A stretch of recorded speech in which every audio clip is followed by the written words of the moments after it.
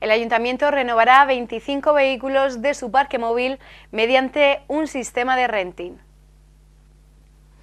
El portavoz del equipo de gobierno, Juan Ignacio López Vaz, ha dado cuenta hoy de los acuerdos alcanzados en la Junta de Gobierno local, entre los que ha destacado el inicio de contratación de suministro por sistema de renting de 29 vehículos para el parque móvil del ayuntamiento en tres lotes. El primero de ellos consiste en nueve vehículos de color blanco más otro de color oscuro, siendo todos híbridos.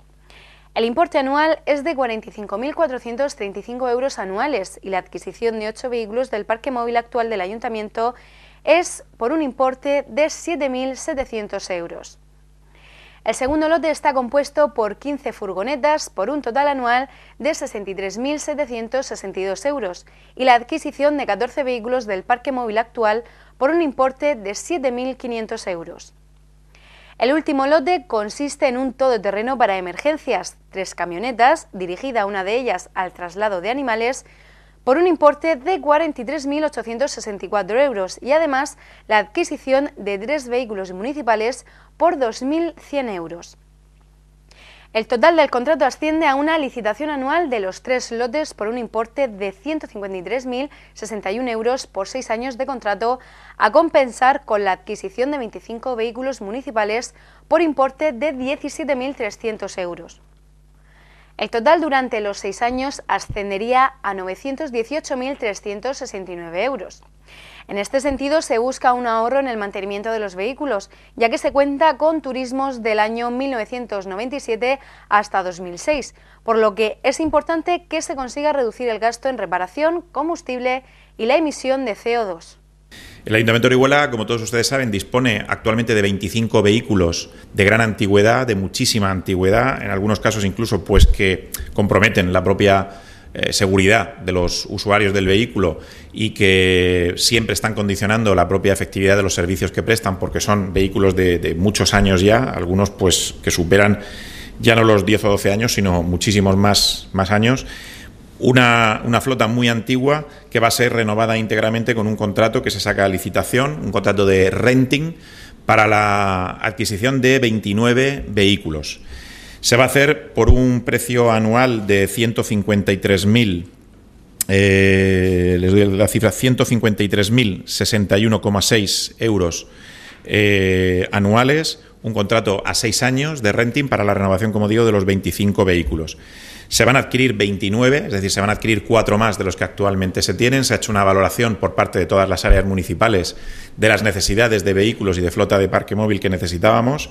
y se ha establecido yo creo que además, de todas maneras, de manera bastante prudente, la necesidad de esos 29 vehículos.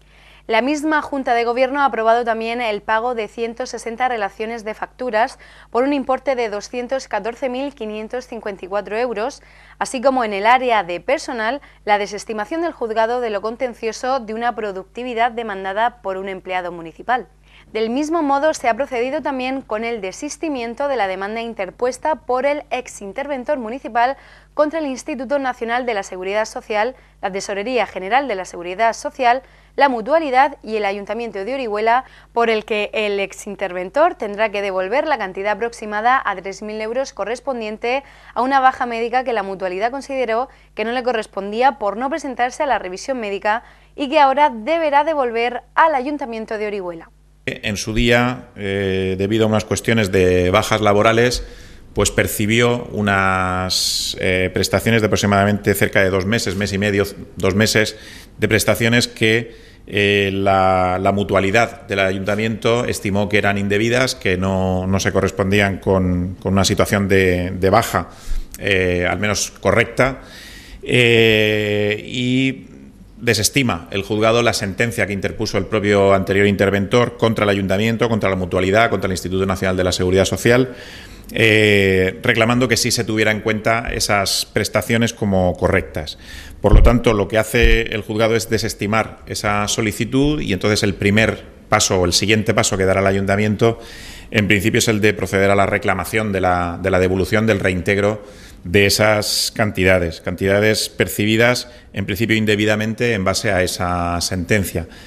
Otro de los temas tratados en el área de personal ha sido la modificación en el acuerdo adoptado en la Junta de Gobierno del pasado 17 de octubre de una oferta de empleo de siete policías locales y diez agentes de movilidad y un palmerero, de manera que pasan a ser siete policías locales y cuatro agentes de movilidad, debido al cumplimiento del informe emitido por la subdelegación del Gobierno en cuanto a la tasa de reposición efectiva del personal.